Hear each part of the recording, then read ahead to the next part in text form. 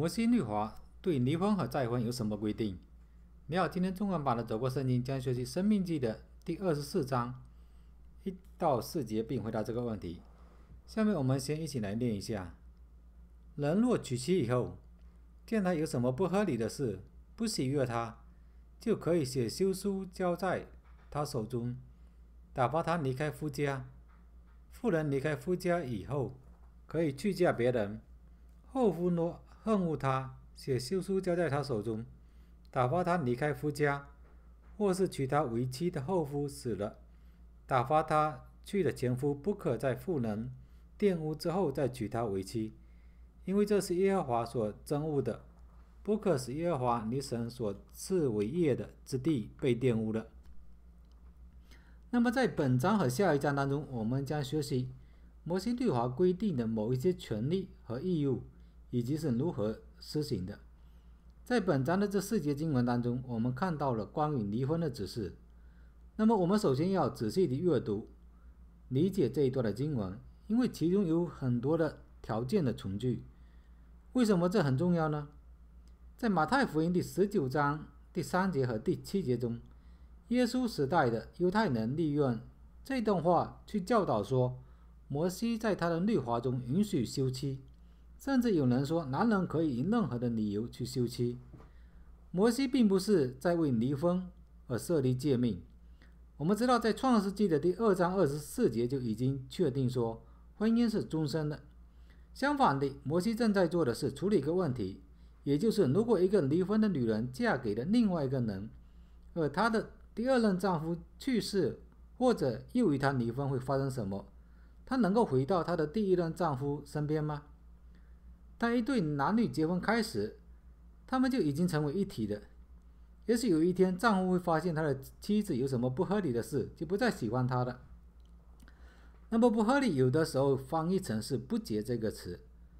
那么对于耶稣时代的一些犹太人来说，这意味着丈夫想要的任何理由，比如说不再漂亮，或者说饭煮不好，又或者其他一些事情。这样的解释显然违背了创世纪第二章当中上帝关于婚姻的律法的精神，因为所有的女人都会在婚姻的某一个时刻，可能做了一些丈夫不太喜欢的事情。所以说，如果离婚可能是出于任何的原因，那么离婚就会更加的普遍。但是耶稣在马太福音第十九章第八节中说，从一开始，上帝的计划中的婚姻就没有离婚的。上帝宽容了他，是因为人的心刚硬，也是因为罪的。人无论如何，他们都想要这样子做，所以上帝又要去规范他。那么，首先我们应该记住，丈夫可以在妻子的身上发现一些不合理的事，选择与她保持婚姻关系的。因此，这并不是一个离婚的命令。但是如果他想要离婚，就必须要给妻子写一份休书，然后把他给送走。也因此，离婚不仅仅是精神上的问题，更是律法上的问题。这一些休书会包含事件发生的日期、离婚的原因，并且还会有其他见证等等。这样一来，如果女人再嫁的话，新丈夫就会知道她不是抢了别人的妻子，因为她是已经合法离婚了。那么接下来，我们必须意识到，离婚的女人也可以不必再结婚的。不过，在那个时代，女方可能会过上的生活比较困难，因此想再嫁也是常有的事。那么，摩西律法允许她这样子做吗？是的，这是被允许的。但是，同样的，这也是上帝的一个让步。如果这个女人再嫁了，她的第二任丈夫也可能会再一次的与她离婚，又或者说她的第二任丈夫可能早于她去世了。那么，这个女人又能做什么呢？她被禁止再一次嫁给她的第一任的丈夫，因为她在第二次的婚姻当中被玷污了。这是无法通过一些仪式来洁净的。不是说她不能再嫁，而是说她不能再嫁给她的第一任的丈夫。上帝宣布再婚的女人是污秽的这个事实，表明他对离婚和再婚的不满，以及在以色列应该如何避免的这种情况。禁止与第一任丈夫再婚的禁令。也确实对妇女起到了保护作用，因为在当时的异教徒当中，有一种被称为是放妻的习俗。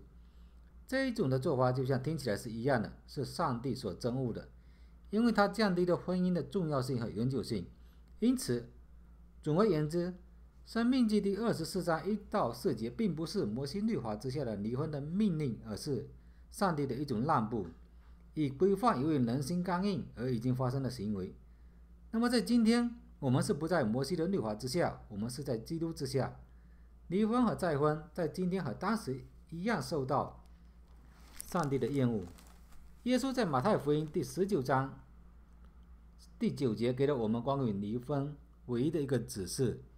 他说道：“我告诉你们，凡休妻另娶的，若不是为了淫乱的缘故，就是犯奸淫的；有人娶那被休的妇人，也是犯奸淫的。”耶稣的律法就取消了离婚者再婚的许可。离婚后，上帝唯唯一允许再婚的人，是因为配偶犯了通奸而离开他们配偶的人。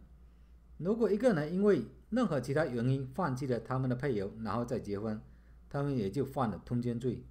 因此，只要有可能，就应该要避免离婚。同时，我们要给予更多的原谅。但无论如何，那我们始终要遵守上帝关于离婚和再婚的律法，以便我们在他的眼中蒙悦了。好，今天我们的学习就先到这里了。我们将在明天回来继续接下来的学习。希望大家到时加入我们。再见。I'm not